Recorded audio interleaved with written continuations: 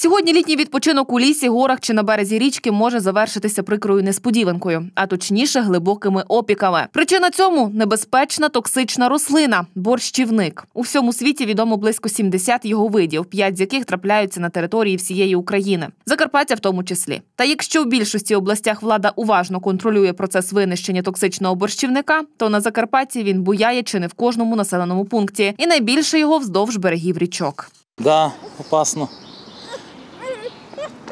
Ну, комунальні служби мають косити, не знаю. Ну а хто? А хто має косити? Комунальні, мабуть. Хто відповідає за цю зону? Вже пора. Як, не як діти гуляють тут, ні? Дуже шкідливі, вони наносять для здоров'я багато шкоди. І тут е, гуляють діти, і так далі їх треба викорінювати, і причому дуже агресивно. От така моя думка. Звичайно, мерія. Мерія. Мерія, ми всі платимо податки, і з тих податків з кожної людини беруться податки для того, щоб держати місто в порядку. Хіба тут потрібні ще якісь коментарі? Я все життя працював десь в певній мірі на бюджет.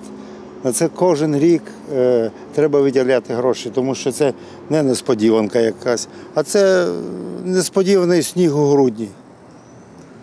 Ну невже не можна це зробити? Таку малу малість. Безумовно, е, безумовно влади, тому що розумію, ну може десь мер не бачить, типа, але ж у нас є наші обранці, наші депутати.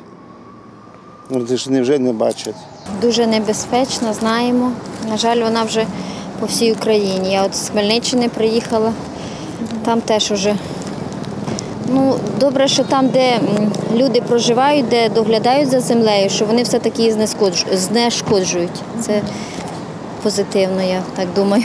Ну а взагалі чим вона загрожує, якщо там не Е. знаю, торкнуться до неї або що? Знаю, якщо сік потрапляє на тіло, на шкіру, то опіки такі, що дуже важко потім з ними е, пролікувати і впоратись. Ну що, волдирі по тілові. Знаю, я ж сама з села виросла там, де знаю. Ну, правда, в нашому селі не було борщівника, але в сусідньому було. Саме головне не торкатися. Із усіх видів борщівників становить чи не найбільшу загрозу для життя і здоров'я людини борщівник Сосновського. Його складно відрізнити від схожих представників. Небезпечним є не тільки сік рослини, який здійснює токсичну дію на шкіру, але і її пилок, аромат і навіть роса. Він містить дуже багато ефірних олій. Вони е, дуже токсичні, коли попадають в самі легені, може виникнути набряк легень. Е, виділяють е, такі е, продукти фурокумарини, які при контакті з шкірою викликають інтенсивну фототоксичність, тобто шкіра дуже сприйнятлива до сприйняття сонячних променів. І, звичайно, виникають опіки на цьому фоні.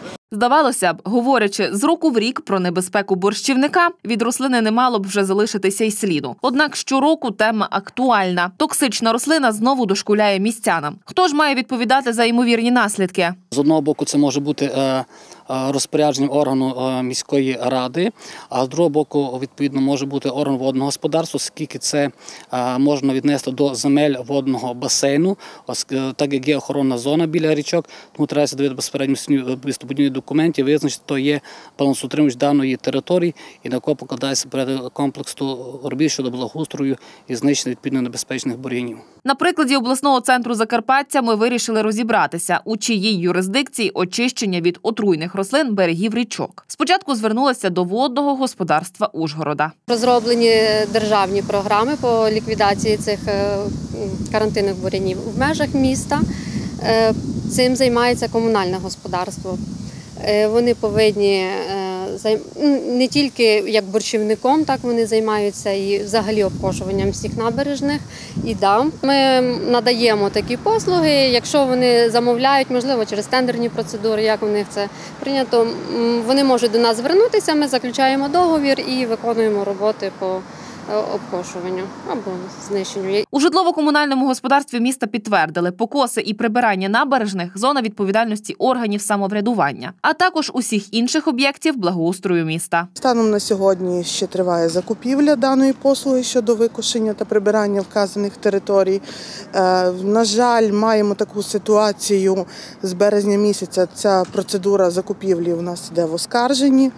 І е, за рахунок того, що один із суб'єктів господарювання, який приймає участь, не задоволений рішенням тендерного комітету.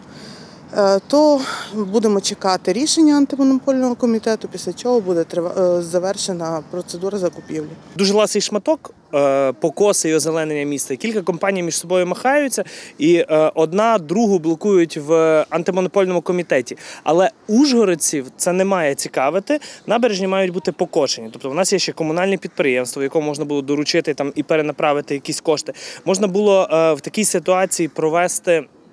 Е, За згодою закупівлі на 20% цієї суми, і хоча б набережні е, міста покусити. Це те, що бачать туристи в першу чергу, коли приїжджають в місто.